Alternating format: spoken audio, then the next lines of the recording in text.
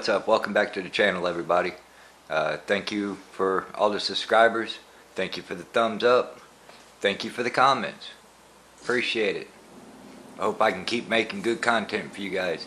And uh, hopefully this will be another good content for you. And uh, we're to get right to this video, guys, so let's rock and roll. Alright, well, today we are talking about nitro engines. Because uh, a lot of you guys still run the nitro, and I hear a lot of complaints about motors freezing up, locking up.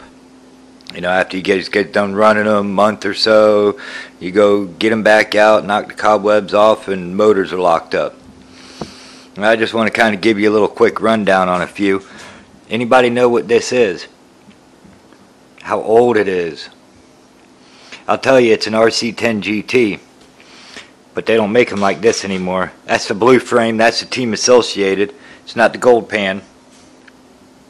This one, uh, last time I run it was about a year and a half ago. And it's still free as can be. Very nice. I like that. I'm going to explain why all these are like this. And here is HPI Super Nitro RS4. It's got a 300 millimeter body, 8 scale body on a 10 scale vehicle. Makes it look huge. This one, I don't think I ran this one in about the same time, three years. And beautiful compression.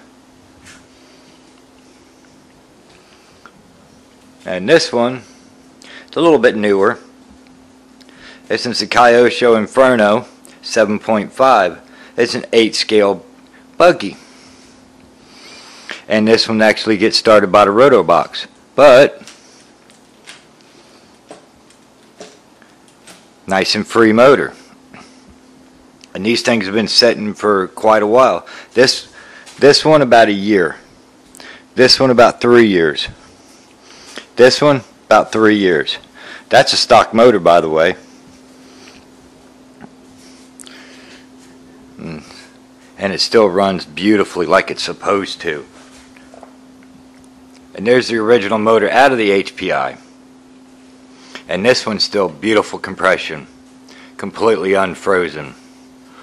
And uh, I'm going to get right to it and let you guys know what I do, what I use, and if you guys do end up getting a stuck motor. So we'll get right to it. Alright, well, have you guys ever had a stuck motor before? If you answered yes, the best product I have found to use is liquid wrench, lubricating oil. Tell I've had this can a while. And this stuff works great. Spray it work it a little bit, you know, take the glow plug out, spray a little bit down in the cylinder, spray some in the carburetor, it'll free up everything, just slowly work it and it'll free up. Alright, WD-40 works awesome as well. And another trick you can do is you guys got some old fuel laying around that's no good, you can soak the motor in old fuel for a little bit and it'll free it up. Soak it overnight if you want, if you ain't got if you got plenty of time, soak it overnight.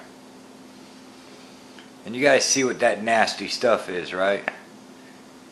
You guys like vehicles set long, you guys will see that. See all that gummy, nasty stuff. Now, I've only had one fuel to do that. I'm not going to state the name, so I make sure I cover the names up. But you guys know the color. I do not recommend this fuel at all. I have had so many complaints about this stuff.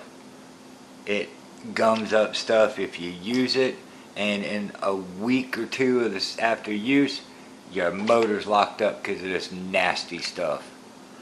This is only good to soaking motors in because you're going to run fresh fuel through it anyhow. Do not use the blue. I recommend at least a 20% nitro. Uh, now what I run is a synthetic oil in mine. Uh, with the nitro fuel, I run a synthetic oil. I don't even have to worry about running the after run oil afterwards. I have never once had a motor froze up on me. Never heard it.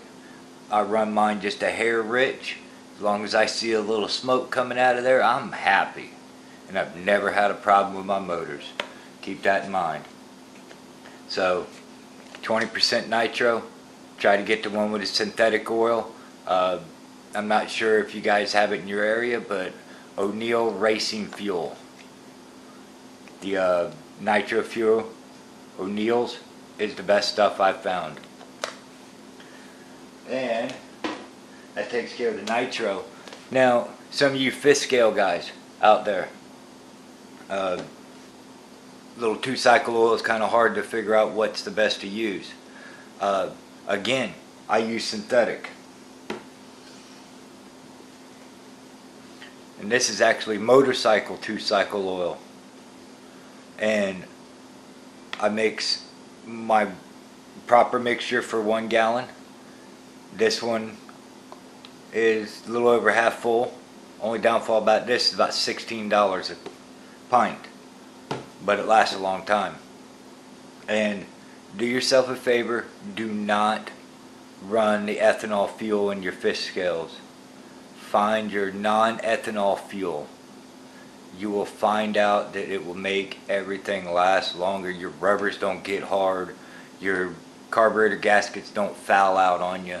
You know, stuff like that. So keep in mind, non-ethanol fuel and run two cycle oil mixing with it. It'll make your engines last a whole lot longer. And uh, that's where we're going to end the video at today, guys. Hey, what do you guys think?